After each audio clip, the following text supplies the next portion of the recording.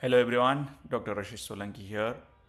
Uh, today we will discuss a, an interesting case uh, who required laparoscopic para-aortic retro, or retroperitoneal lymph node biopsy.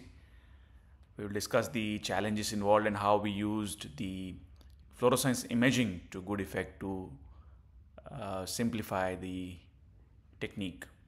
So he was a 57 year old gentleman, incidentally detected uh, retroperitoneal or para-aortic lymphadenopathy on ultrasound during evaluation of left inguinal hernia. CT was done to characterize and uh, locate the lymph nodes in relation to the key structures. And there was no palpable lymphadenopathy elsewhere, negating the possibility of taking biopsy from uh, peripheral nodes. CCT abdomen with pelvis was done, and as we can see, there is a sizable lymph node. Uh, in fact, there were multiple lymph nodes, um, mainly below the left renal vein and the DJ flexure, above the IMA origin. It is important to locate these these lymph nodes in relation relation to the um, fixed key anatomical structures, so that uh, one can um, dissect around them to identify these lymph nodes and take biopsy. They were 1 to 1.3 centimeters, and the radiologist's impression was that they were likely pathological.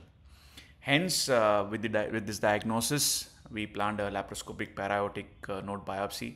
However, we knew that the challenges uh, were uh, formidable in front of us in the form of uh, visualization of the node, in a, especially in a patient who has visceral obesity, and therefore we chose uh, fluorescence or ICG imaging uh, as a tool to locate these nodes. To this end, we injected uh, ICG oro green dye, which was diluted uh, in 10 ml, 25 milligram, and uh, 2 ml each was injected on both sides of the inguinal region uh, in the inguinal node actually in the hope that they would be identified well um, intraoperatively when we apply the fluorescence imaging mode. These are the port positions more or less similar to uh, left col colectomy um, and let us watch the video now. The first step uh, is to expose the root of the mesentery and DJ flexure and hence we place the transverse colon beneath the liver and the small bowel in the right upper quadrant.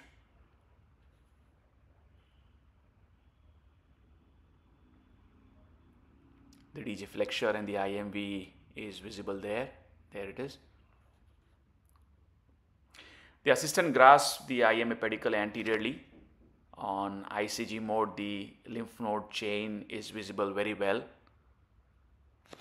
A medial peritoneal incision is made. The DJ flexure is mobilized as well. The goal is to expose the lymph node just cranial to the IMA pedicle.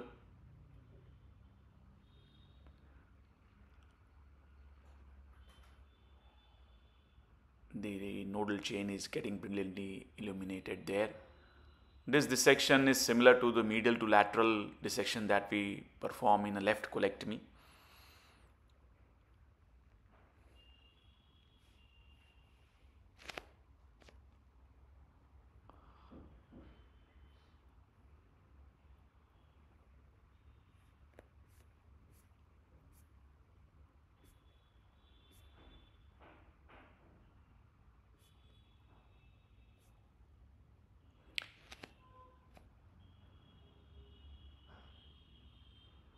Once we dissect sufficiently in the medial lateral plane, the node becomes visible. There it is.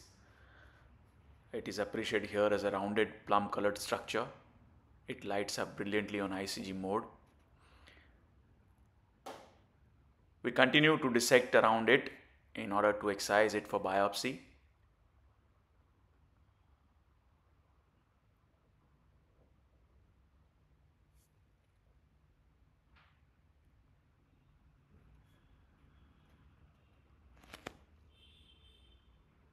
Aorta is visible in the background, it will be seen well in a while. A visible lymphatic is clipped.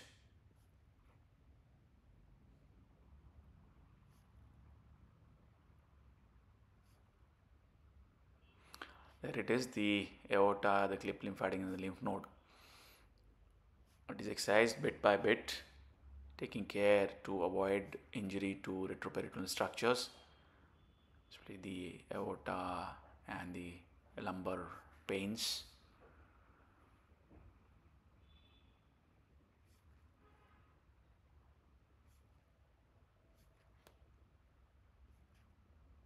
The lymph node is removed bit by bit and is removed in a glove endo bag for biopsy.